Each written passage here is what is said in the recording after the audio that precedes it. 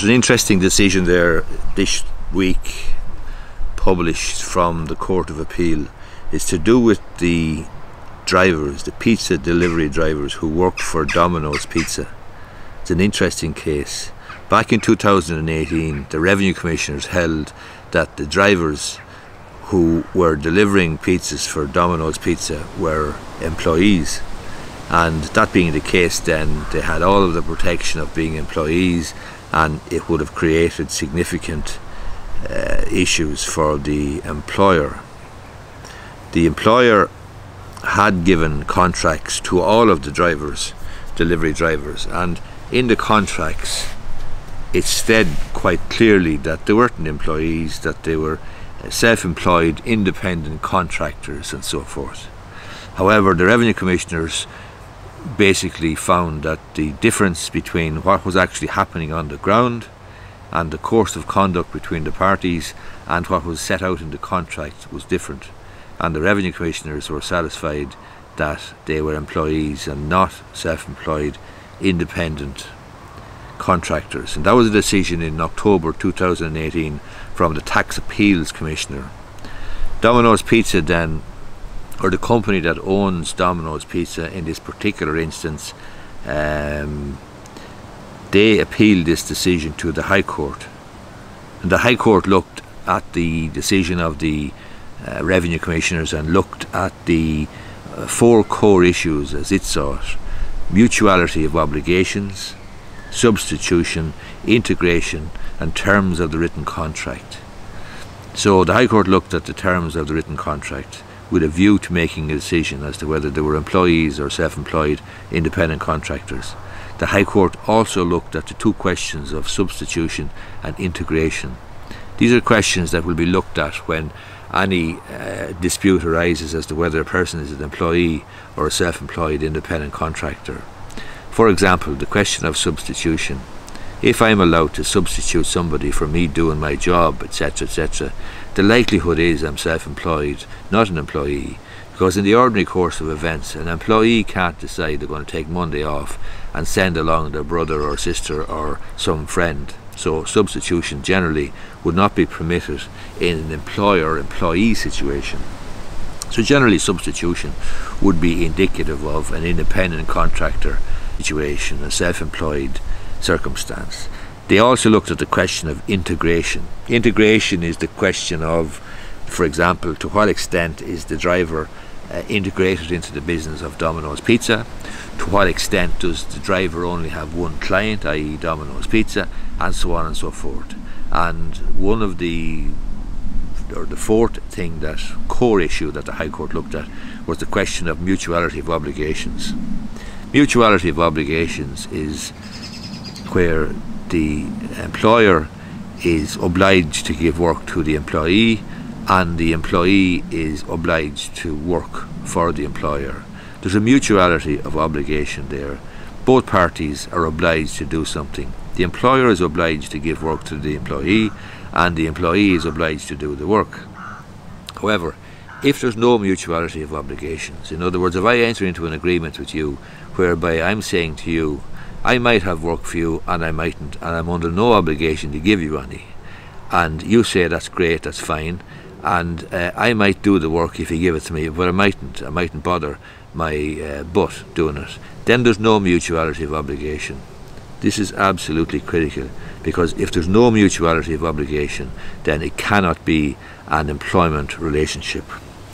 Case went on anyway to the High Court, and the High Court agreed with the revenue commissioners and held that the drivers were in fact employees. However, the Court of Appeal said that it's widely accepted in employment law in Ireland that uh, the mutuality of obligation is a sine qua non of an employment relationship. In other words, for an employment relationship to exist, there must be mutuality of obligation. And so the provider of the work, if he doesn't have to provide the work, and the person who's going to do the work, if they don't have to do the work, then there's no mutuality of obligation. And you can call that sort of an arrangement uh, any type of a contract you like, but it's not an employment contract. So, just to be clear, the requirement of mutuality of obligation is the requirement that there must be mutual obligations on the employer to provide work for the employee and on the employee to perform work for the employer. If such mutuality is not present, then either there's no contract at all, or whatever contract there is must be a contract for services or something else, but not a contract of service. And a contract of service, remember, is an employment situation.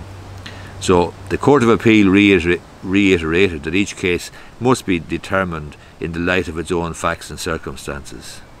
But basically, the Court of Appeal decided that both the Revenue Commissioners and the High Court were mistaken and had fallen into error simply because of the absence of mutuality of obligation. The question arose then as well uh, as to when you look at the mutuality of obligation uh, situation. In other words, the High Court uh, and the Revenue Commissioners appeared to find that uh, they only looked at the situation when the driver showed up at the premises. In other words, when the driver showed up at the premises and was given a route or a schedule or deliveries to do, then the driver was obliged to do them. And on that basis, the Revenue Commissioners and High Court held that there was mutuality of obligation uh, and therefore the driver was an employee. However, the Court of Appeal agreed with counsel for the company that the question of mutuality of obligation should be looked at before the driver rocks up. In other words, when uh, at the outset, before they go along to the premises at all, do they have to go along? Do they have to take the work? And if they don't have to take the job, if they don't have to take the work, well then the mutuality of obligation does not exist and therefore it's an independent contractor scenario, not an employment scenario. Now, I was discussing this with the girls in, or one of the girls in the office there yesterday, and she was saying, sure, if the driver doesn't show up, uh, they won't get any more work. But precisely the same scenario will arise if you are an independent uh, electrician or plumber. If you, you know, we try to get you out to our house here uh, and you're not available, well, then we're probably going to go somewhere else, and that's just a natural uh, chain of events in an employment situation or an employer or in a self-employed situation rather. In other words, if you're not available or if you're very busy or difficult to get, we will take a view and we'll try and get somebody else. Likewise, in the Domino's pizza situation, you might say that if a driver didn't show up, then he wouldn't get any more work. But it would still arise that Domino's Pizza may well need that driver the following day or following week or whatever.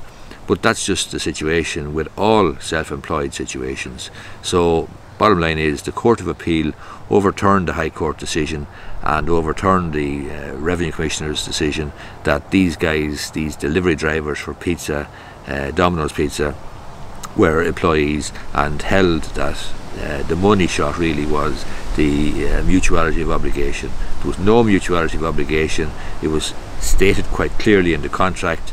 Uh, that was the scenario, and if that's the scenario, then it cannot be an employment situation, cannot be an employment contract.